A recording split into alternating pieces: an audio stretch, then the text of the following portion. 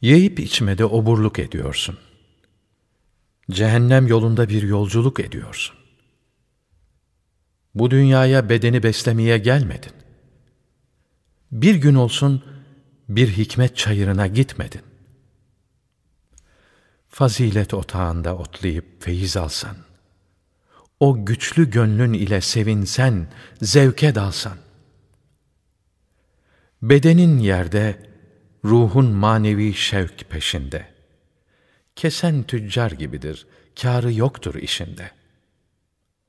Beden odun olur, yanar kül olursa ne kalır? Tacir ruhu mum olur, yanar yanar yok olur.''